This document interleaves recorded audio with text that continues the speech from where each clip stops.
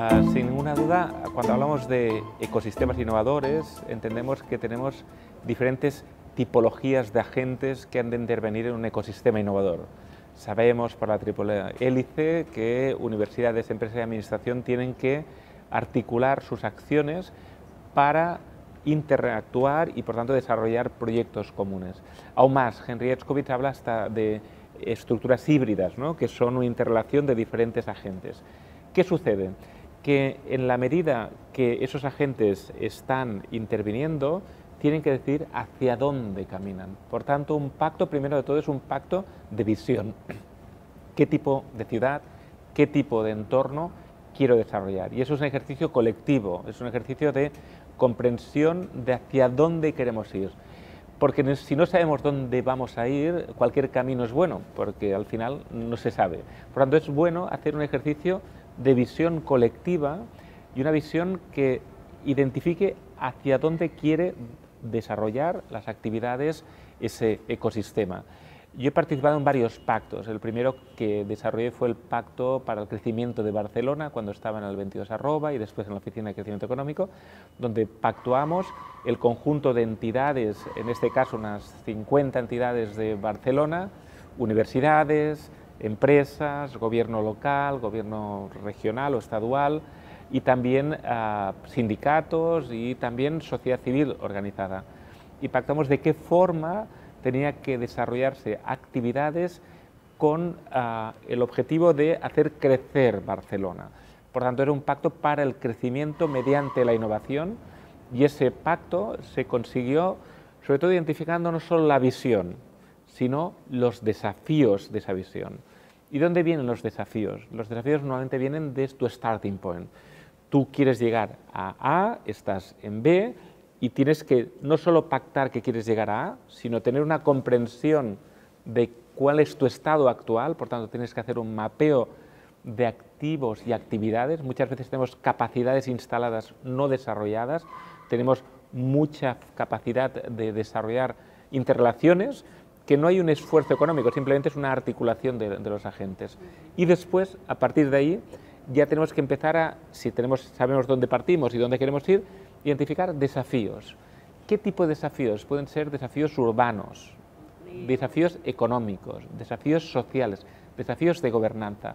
Por tanto, es tan importante pactuar la visión como pactar o pactuar los desafíos. Porque si pacto los desafíos y ese pacto es del conjunto de los agentes que han desarrollado esa visión, vamos a empezar a articular dos tipologías de acciones.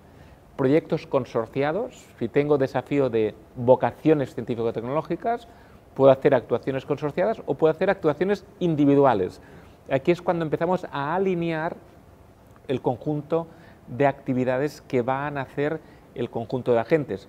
Algunos, pues una universidad puede decir, mira, pues yo para las vocaciones científico-tecnológicas voy a hacer workshops en mi universidad, esto es un acto individual, o puede haber un proyecto, decir, no, vamos a ir a todas las escuelas de todo Río de Janeiro para que todos los niños y niñas tengan vocación científico-tecnológica y vocación emprendedora. Ahí empezamos a ver que es importante starting point, visión, desafíos y acciones. Acciones colectivas o acciones individuales. Y ahí es cuando, para tener un círculo virtuoso, es necesario crear un modelo de gobernanza. ¿Qué tipología de gobernanza es la que nosotros uh, planteamos? Es una gobernanza sobre todo de instituciones que van más allá de el gobierno público, de la mesa del prefecto o la mesa del gobernador. Es una mesa, en el fondo es una mesa para la innovación, un Senado de la Innovación es una plataforma donde las 75 instituciones, en el caso de Porto Alegre, se reúnen cada seis meses y evalúan dónde están los pactos, los proyectos que han decidido avanzar y ponen nuevos desafíos a la mesa. Poner desafíos en la mesa significa dos cosas, que la mesa pacta los desafíos, pero también, como pacta los desafíos, se compromete a desarrollar esos desafíos. Por tanto, empezamos a tener un círculo virtuoso que no solo es una visión a largo plazo, sino que cada seis meses, cada año, de hecho cada seis meses se encuentran y vamos evaluando cómo avanzamos cada año. ¿Cómo se avanza? Se avanza también en un proceso de accountability, de decir que queríamos llegar allí, tenemos ese desafío, tenemos ese proyecto y hemos conseguido esto o otro, o qué problemas hemos tenido. La transparencia nos da confianza. No es un tema de la evaluación para el examen, para decir aprobado o suspendido. La evaluación para comprender por qué no hemos avanzado. Quizá ha habido una estrategia inadecuada, quizá ha habido una falta de recursos. Por eso es importante que en la mesa también pacte qué desafíos y solo acepta proyectos que están financiados, si no, no, va a entrar ese proyecto en la, en la mesa. Por tanto, uno no puede venir con el problema sin venir con una solución financiada. Por tanto, los desafíos sí que tienen que pactarse, pero los proyectos tienen que pactarse con recursos. Muchas veces los recursos, muchas instituciones ya tienen recursos, auditorios, eh, profesionales, es más organización. Hay otras veces que sí que se necesita dinero, pues uno tiene que ser capaz de decir, prefectura, gobierno del Estado, gobierno federal, hay estos recursos, voy a ir a, buscarlos.